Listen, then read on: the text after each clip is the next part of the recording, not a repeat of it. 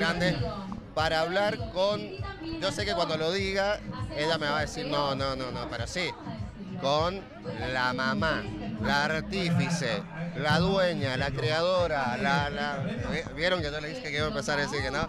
Con la directora de cultura, parte del equipo que ha trabajado en... Parte del Sí. equipo.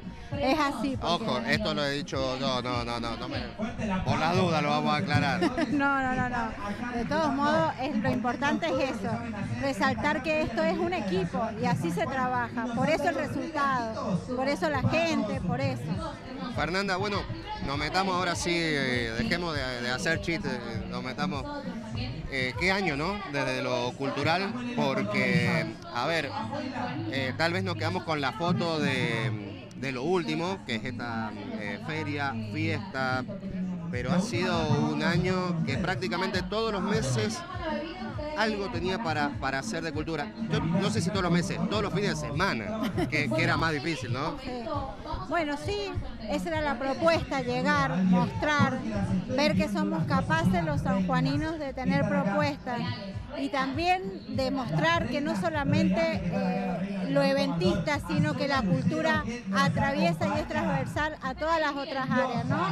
Por eso los talleres, por eso el animarse, por eso la plaza, por eso el visibilizar los artesanos, los emprendedores como un trabajo legítimo y que hay que empezar a respetar. Entonces, bueno, el tema era ordenar un poco y crear espacios en donde pudieran sentirse cómodos para hacer lo que les gusta. Y tenemos un intendente que en realidad tiene esa capacidad de escucha que es muy importante. Eh, y la respuesta está, digo, porque uno mira la, la gente eh, y está de muy temprano, eh, se sigue sumando, digo, es evidente que no es que la gente no apoya la cultura porque no quiere, es porque no había y ahora que hay empieza a llegar de forma masiva.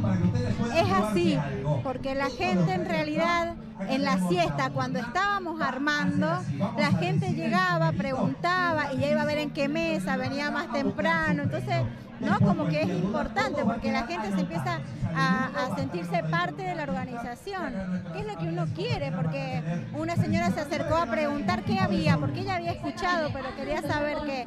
Cuando le contamos, dijo, bueno, yo me siento ya para tener la mesa cerca del escenario.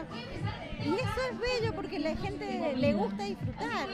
Y volvemos al núcleo, que es lo que hablábamos con la intendente, inclusive, con Adriana Luluaga y demás. Esta cuestión de volver a la familia, ¿no? Como núcleo, como espacio de contención.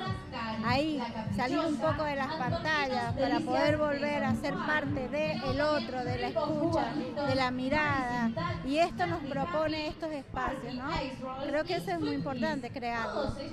Eh, además otra cosa, la, cultura eh, toma distintos eh, caminos, ¿no? Es como cuando uno deja caer un chorrito de agua en la tierra que se va abriendo porque cultura desde desde una muestra de un artista plástico hasta el pibe que hace trap en eh, el globito ahí en la estación, desde el que hace un mural, eh, digo, y, y todo eso ustedes lo han ido eh, encuadrando, a todos les ha dado el espacio, a todos han tenido su tiempo, ¿cómo se hace? No obstante, no obstante, eh, el 2025 se viene con, con más propuestas para los jóvenes y adolescentes. Creo que es un rango etario que es importante marcar presencia, pero no con una imposición de hay que escuchar, porque esto que ellos cantan, que ellos no dicen con una canción, con un trap, con freestyle o, con el baile, ¿no? Eh, esto que por ahí a veces nos resulta por ahí difícil de entender a los adultos, eh, hay que tener una escucha abierta para entender qué es lo que nos están diciendo. Entonces, ahora el 2025 nos metemos con ellos, acompañarlos, a, ahí en espacios que son incómodos para nosotros, porque por ahí no los entendemos.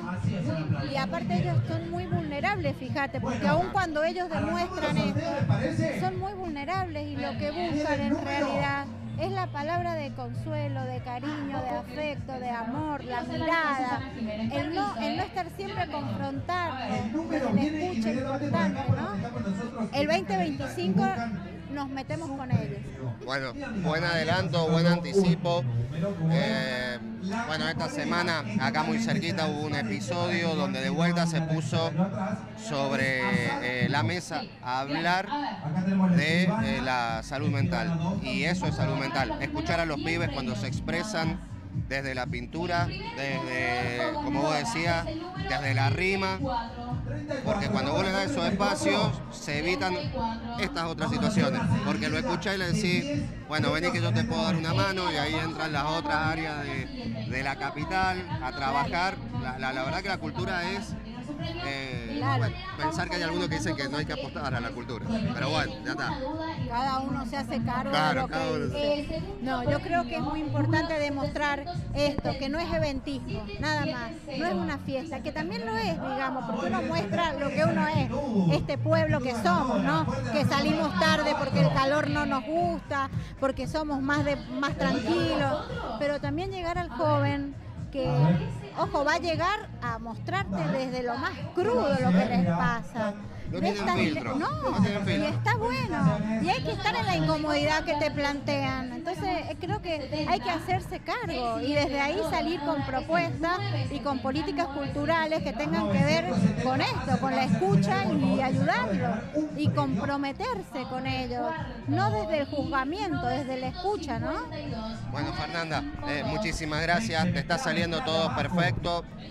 En, en vos le, le mando el saludo a todo el equipo le está saliendo a todos eh, perfecto lo, que han planificado, así que muchísimas gracias por tomarte el tiempo porque te vemos que va a venir, subir, bajar, eh, pero gracias por este tiempo con nosotros. Un placer, siempre un placer, muchas gracias.